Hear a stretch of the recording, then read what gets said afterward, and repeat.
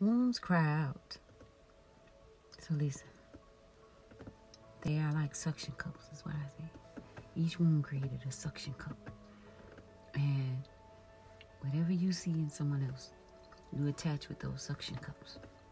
You start attaching from your wounds.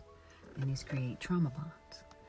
And until we are whole within, we start pulling those suction cups within, healing those wounds by loving ourselves, becoming self-aware, and knowing who we are, and visiting the past and dealing with those emotions that are repressed.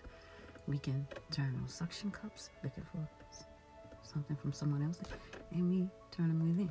And then that's how we become whole, by turning those suction cups within. You understand?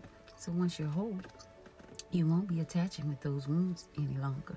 This is what you call secure, when those wounds are no longer suctioning, trying to get from someone else, trying to get love, trying to be seen, trying to be validated, all of those things. Blah, blah, blah, blah, blah, blah, blah. Stuff we haven't dealt with when we were a child. Things our parents didn't give us when we were growing up. Attention, validation, emotional secureness. You know, the stuff we needed to be secure. We're not scared. So we're attaching. you get it? Good luck.